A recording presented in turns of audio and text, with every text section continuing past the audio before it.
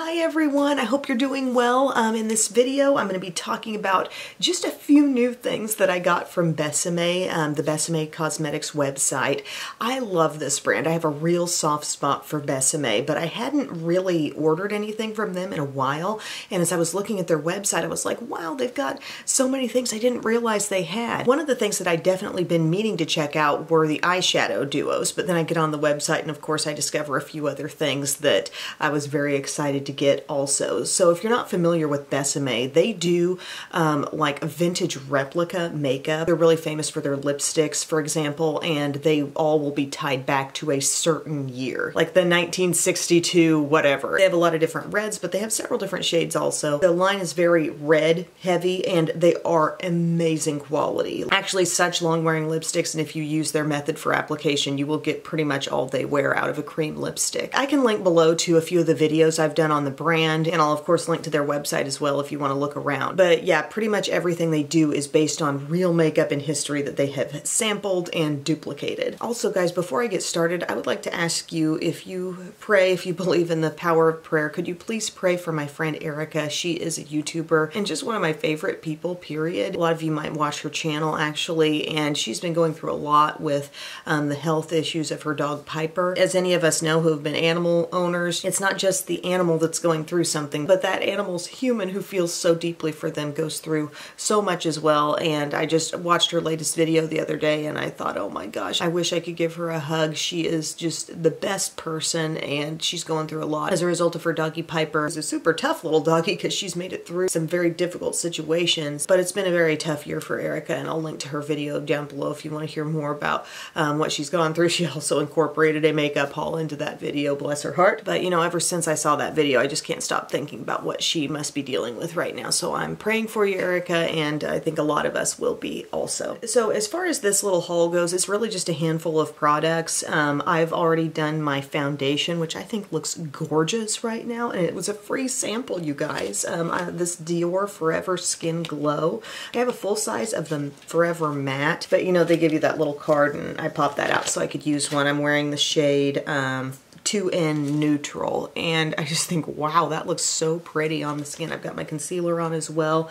And then um, something I got from Besame, it came in two separate pieces, the pan, and then this little compact with the cute little magnetic closure. It's so cute. This is their lavender powder. What do they actually call it? Oh, I think they call it their violet translucent powder. Um, and this is the refill plus free travel compact. It was 1850. But if you look at their face products, they have so many things. I hadn't hadn't realized they had all these pans of pressed product. We're talking blushes and just a variety of different setting powders, different tones, like so many things I didn't realize they had. Now in the past, they had done some loose powders, like they had the violet loose powder, a pink toned one, and I think a beige one. And I remember raving about a trio that came out around the holidays for that. That was when they were still being sold on Sephora. But now they have a pressed violet powder, and I wanted to just like set my under eyes with this. Maybe I'll use my puff puff actually. Yeah, I'll use my little e.l.f.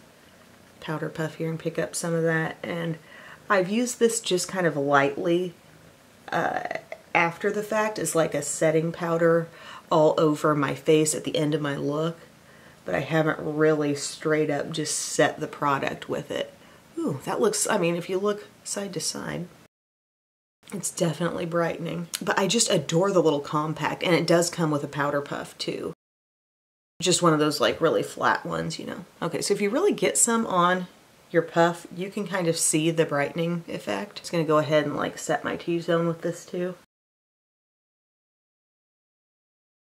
I like that. That's super brightening. My under eye feels really, really smooth. I should have gotten a blush too. I love this little compact and it is, again, magnetic closure. So cute. Okay, I've got some other steps of the face to finish and my brows as well, and then we'll move on to this little eye duo I got. Okay guys, so I continued on with my face steps. I used my Cheek the Male palette from Benefit, which I love. Um, it's got Terra, blush, Hoola bronzer, and Cookie highlight. So I have all those steps on my face in addition to the um, violet powder, which, while it sets the under eye fine, I think I do most like it as like a finishing powder step. I see the most effect from it there. So like just dabbing into it with a little brush, like my Morphe Under Eye Bullet brush, and then kind of coming in right here, kind of the way I use an hourglass powder. I don't know, I just feel the biggest impact from it in that way. But I did my brows with my e.l.f. Ultra Precise uh, Brow Pencil and NYX Control Freak Brow Gel. So next I'm just going to prime my eyes with my Milani Eyeshadow Primer and I'm really excited about this little eyeshadow duo. So they have several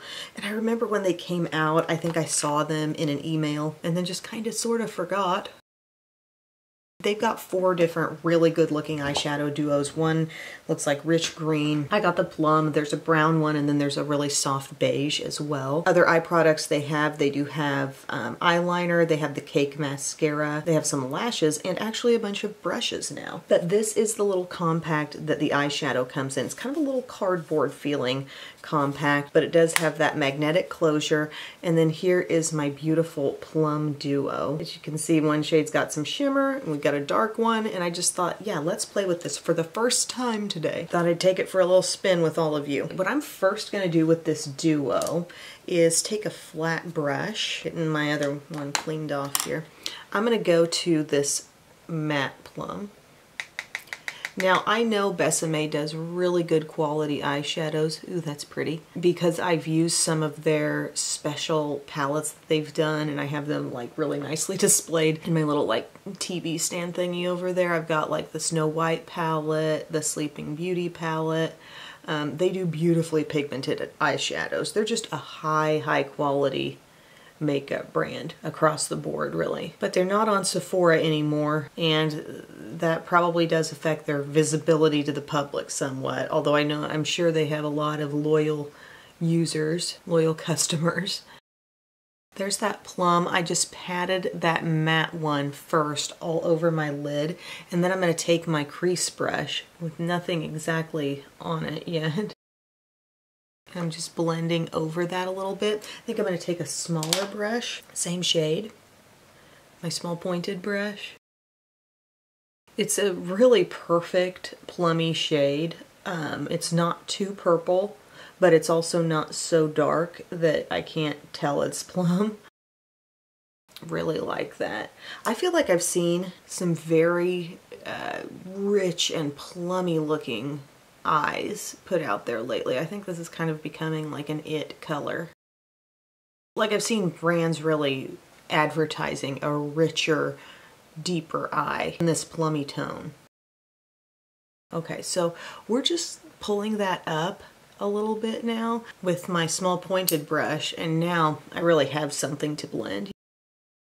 My duo oh, eyeshadow looks could be some of the best and easiest looks. Clinique makes a lot of duos that I love. But this is stunning. It really is pigmented. The texture here of this matte seems really soft, like I am tapping off a little bit of excess, not a huge amount. Then I'm gonna go to my shimmer right here with a smaller brush, my Morphe like small flat pointed brush. Oh, that's pretty. And that's a little lighter than I was expecting. I thought maybe that's gonna look kind of deep. Oh, it's really nice. Oh, that's lovely. I love the tone of that. It's like, it's kind of like if taupe and plum and champagne all had a baby. there really is some beautiful brightness there. Purple's kind of understated, but really pretty. Man, now I really want to try another shade. The brown or the pistachio building up my matte just a little more now. Now that I kind of see where the where the land lays. As I did some blending, I felt like I might have dusted a little of the intensity away from the lid, so I'm just reapplying a smidge more of that. I love this. You know, it's classic, it's pretty, it's not too fussy. It probably looks like I spent way longer on it than I did. I now want to take a little bit of my matte just with my small pointed brush and continue that to the lower lash line. I mean, it's purple for someone who does not want to be too purple. Really love it. Absolutely love. Perfect textures, Love the tone. Just a really simplified look. It reminds you how simple your eye look can be, you know, and still be really complete looking. So I'm going to add in my liner and mascara and then I'll come back and show you the lip colors I got. So finished up the eye. Um, what I put on my lash line is actually really close in tone to what I used in the eyeshadow look, just a little bit deeper. I use my Persona liner in Plum. I love these Persona eyeliners. And by the way, the other day when I had worn one in the water waterline. I was doing that look on camera, I believe. Was it the brown? It lasted so long. Like I spotted it still in the waterline late in the day. Like that wore really well. So I have this across my upper lash lines, just kind of providing a little bit of contrast, just deepening things up, maybe making my lash line look just a little bit thicker and then I have Superhero Mascara on top, Cali Ray Come Hell or High Water, and then a light liner in the lower inner rim. That's my ABH Duo Pencil. So now, as far as the lip products go, I got a new lipstick that I hadn't seen before on their website. It's called Holiday Red. Holiday Red is the 1950 shade, by the way. So here's what that beautiful tube looks like. It's so reflective. It's probably hard to um, see all the designs. Besame lipsticks are just impeccably packaged. Take this off. You can see it says Besame down the side. Gorgeous, gorgeous. So yeah, 1950 Holiday Red. Um, if you browse their website, you can see, you know, all the different shades. Again, it's very red heavy. Um, there's the Besame Red lipstick, that's the 1920 shade. As far as some of my favorites, I love Red Hot Red. That's like the Marilyn Monroe Signature Red, that's 1959. Um, big fan of Dusty Rose, 1969. I was wearing that, I believe, when I gave birth to Biddy. And then the 1970 shade Chocolate Kiss is really good as well. They also have a retractable travel lip brush. I have a lip brush as well that I've had for a long time from Besame. It looks different from what they have. This is just kind of has the lid, but I guess the new one is retractable. And then I also got their Master Liner Universal Red Pencil. Look how long this thing is. Cleaning off this lip brush. Is that's kind of gross to have a not clean lip brush. Okay, Totally clean. All right, so I'm going to use this holiday red. How do they describe it, by the way? Inspired by the delicate glittering accents of 1950s light bright ornaments, our holiday red is a bright red lipstick with shimmering gold undertones. Oh, wow. Oh man, if you look super close, you can see a little shimmer in this one. I didn't even realize that that's fabulously festive for the holidays. With its uniquely smooth gold pigment that isn't chunky or dry, the creamy formula is enriched with conditioning ingredients like squalane, aloe, and vitamin E to keep lips feeling velvety and supple. You'll find this shade staying in place through chilly winter nights, moments under the mistletoe, and that half a drink more of eggnog. Oh my gosh, I love it. It does have that subtle vanilla scent. It says meticulously formulated for sensitive skin. So we're going to do the little Besame method here. Now that I pick some up with the lip brush, I can see, let's see how good the camera is. I don't know if you can tell, but there is a little golden fleck in this. So I'm gonna apply it with a lip brush and then I'm gonna blot and do another application. And I'm just gonna use the um, lip pencil for cleanup because I really wanna see what this shade of lipstick is gonna end up looking like, you know? That golden shimmer, I really can see it on the lips like big time. It's not like I'd call this super frosty or anything, but like I can see that glimmer and it's beautiful and it's adding some warmth to this color. When it was first going on kind of sheer, I thought, what is this shade? But it's definitely, with that shimmer, it's a warm looking red. Make sure to do a precise Cupid's bow. And you can definitely apply this stuff straight from the stick. But there's just something about really enjoying the process and putting on your Besame lipstick with a Besame lip brush. Blot it. Okay, we blot some off and we apply some more. The shimmer is absolutely perfect. As far as like walking that line, it's not too much, it's not too frosty. I don't know that I have a lipstick. I'm sure I don't have a red lipstick that looks exactly like this. And then they say do that and blot again.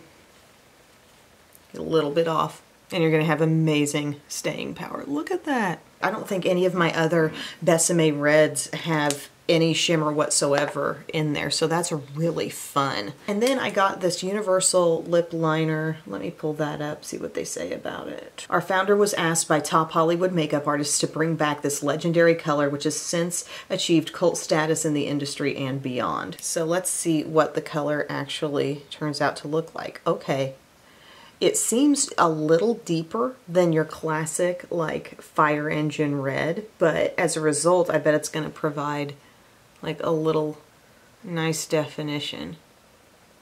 I'm sure it would look lovely on its own. And man, is this pencil long. Like, I'm to have this for a while.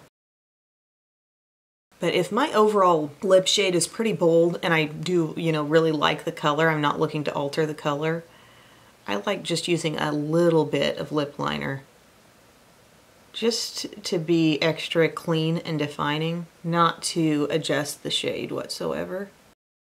See that red being ever so slightly deeper it's not giving that real outlined in a different color look, but it's so pretty. And I love that holiday red shade. I'm so glad I got that. I am going to make this my holiday red. I love this shade. It's so much fun. It's got that little bit of shimmer. From a distance, you're just like, oh, red lip. And then you look up close, like, ooh, that's beautiful. Okay, so a very successful Besame mini haul here. This is your reminder to support Besame. They're doing amazing things, super high quality products, beautiful products, the type that you want want to have sitting out. I've got my Sleeping Beauty collection lipsticks, like they're up here where I can always see them. Gosh, I don't even know what to say was my favorite thing.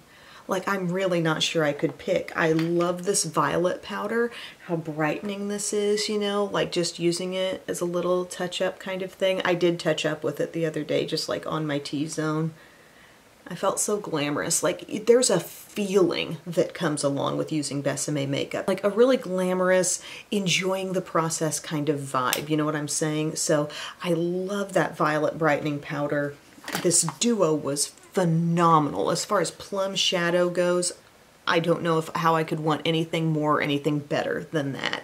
And look how the plum is so subtle that I can feel confident and comfortable wearing that alongside a red freaking lip. I'm happy to have the lip liner pencil. I think that is going to come in handy and I'm going to definitely want to pull that out for different Besame reds that I use throughout the holidays and the holiday red lipstick, the 1950 signature shade with that little bit of golden shimmer is so much fun. That might be that might be the number one right there. All right, thank you guys so very much for watching. I hope you enjoyed this video. I got a lot of requests when I asked recently on Instagram what things do you want to be seeing on my channel more. I got an overwhelming amount of requests to bring back vlogs and you're in luck because I did purchase a vlog camera because now um, I edit with the editing software I use I can't easily like just take video clips off my phone and put them on there. I feel like I'm to have to record them on a memory card and import them. So I need to use a separate, a separate mobile kind of camera. I wouldn't use the one that I'm using here in this room. So that'll be coming. I'll be working on it. Thank you guys so much for your time and I'll see you again soon. I love you.